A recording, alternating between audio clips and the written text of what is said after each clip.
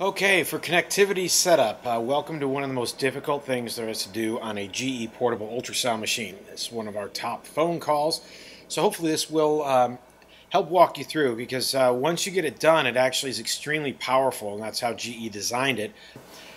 You're going to hit the config button to get to this screen, and I'm going to use the trackball here and use the set key to go to connectivity. Okay, so the first thing you see here is what's called the data flow. And this data flow uh, has a lot of options that you can set up here. So like this says uh, you have your local archive, and now you can set up a remote hard drive, DICOM work list, a DICOM server, DICOM print, uh, CD, DICOM, CD, DVD, blah, blah, blah, all that. What, uh, what I'm going to show you how to do here, which is the most common thing, is set up a DICOM server.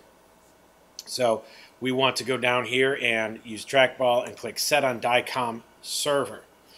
Now, um, in order to set that, we can first, uh, you know, check it off as default if this is the one we're going to do. Right now, we're just going to go to DICOM storage, click on this in the output section, and then click on properties. Okay, so now we are in our DICOM storage properties. Before we take any steps further, the first thing you have to have in order to do this is one, information from your IT department and that is to find out if your system, your Vivid i, you, is going to be required to use DHCP or a static IP address. They'll know what that means. Hopefully, you're using DHCP, and they can say you can just plug this in and it will get itself onto the network. And I have an Ethernet cable attached to the back of the machine, so if you are using DHCP, you just plug this into your network connection and it should automatically put this on your network but you must speak with your IT person about that. This does not have wireless, and you won't know really if it's on the network or not. The only way to check that is when I plugged it in.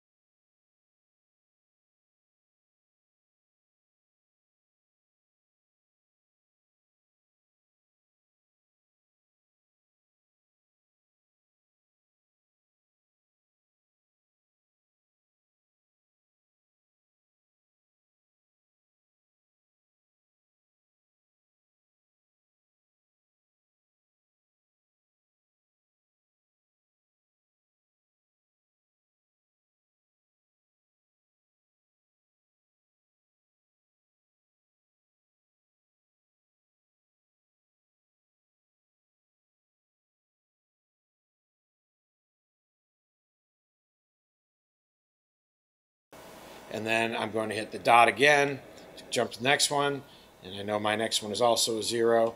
I'm going to hit dot, and then I know my server is 125. So I'm going to go ahead and click that and hit the set button, and now I've got this on there. So I can click OK. So now I can select that right there and click that little thing, and hey, look, I got a smiley face. This does not mean I can transfer images yet. This basically is only saying, hey, uh, is the server over there? And the server said, yep, so you can smile now. It's all happy. You, you, this does not mean you can go now and, and send images. You have to now give it a name for that server. You must have an AE title, and I know the AE title of that server. And this is the information you have to get from the radiologist, and it's the only person who can supply you for this information. So uh, you need to get that name, AE title, and port number in order to be able to send any images to that server. So, and if you type in this AE title incorrectly, it will not go across. You have to do everything exactly right. So I'm typing in mine, and that's exactly how it goes, and I know what my port number is. Okay?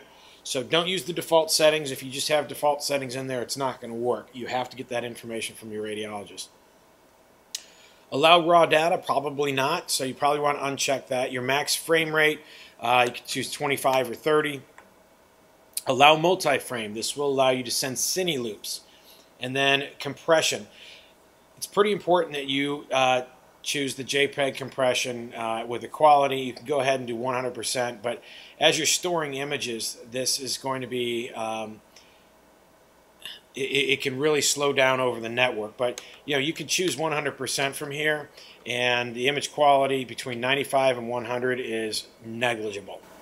So this is going to make your network transfers a lot faster, and they won't see um, any difference in the image on the other end. If you use no compression at all, your images will be huge and it will take a long time to transfer those images. So JPEG is what the standard is using for DICOM. Inside the DICOM, it, the, the image within that DICOM is a JPEG image. So don't be confused with exporting this. It's not going to export as a JPEG. It's going to export as a DICOM image, but the compression it's using to shrink it to make it transfer faster is JPEG. DICOM SR is DICOM structured reports, so go ahead and check that if you're using structured reports and allow us our private data. So if you need any patient data removed, it will do that for you. Now I can click OK. And so now I've got this, and for your DICOM server, click on it, highlight it, and see what this check button does. And it should say it's OK. But it's not going to because I haven't started up my server yet. So it's just going to sit there and wait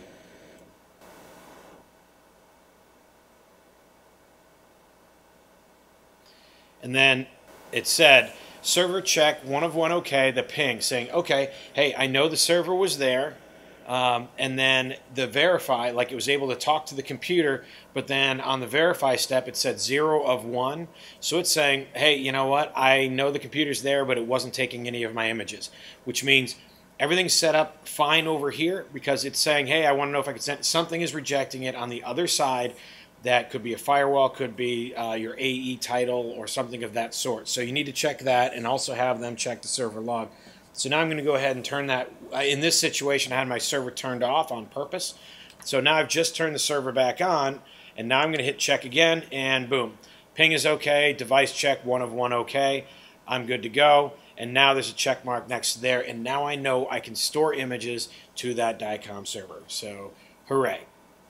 Now, if you had some other issues, um, you know, for DICOM print, you can set up some things for the print button to automatically, like this print button over on the right-hand side of the screen, which is down below here, to the right of the freeze button, you can assign this print button to do various things, like uh, DICOM storage or store to a clipboard, but you can do that and then click here for advanced, and this is going to that same DICOM storage. So right now my print button is my store button is, is stored is set to store to the hard drive where my print button is saying okay you know what? I'm going to do when you hit that print button I'm going to do DICOM storage. It's not going to a DICOM printer it's not going to a printer it's not it's not actually printing at all. It's saying okay what did you want to do? Well in this data flow I set up DICOM storage to go to a DICOM server. So if I hit this print button over here it's going to go to my DICOM server some tools. This is for exporting, and I'm not going to cover that at all to like a USB stick, but it will show up, and this is where you can format it and export to that USB stick. Um, different formats and how it is going to show up, automatic patient ID, etc., etc., etc. TCP/IP.